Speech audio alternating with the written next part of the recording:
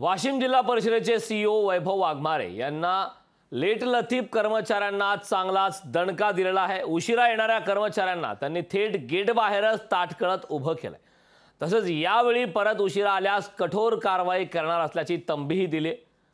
CEO वैभव वाघमारेंनी उशिरा येणाऱ्यांना धडा शिकवण्यासाठी कार्यालयीन वेळ झाल्यानंतर जिल्हा परिषदेचे तीनही गेट कुलूप बंद केले होते. यामुळे पन्नासहून अधिक कर्मचाऱ्यांना बाहेरच उभं राहावं लागलं होतं. सीईओच्या या कृतीमुळे कर्मचाऱ्यांनी चांगलाच धसका घेतल्याचं पाहायला मिळतंय. लोकशाही मराठी. ऐका पहा जागरूक रहा.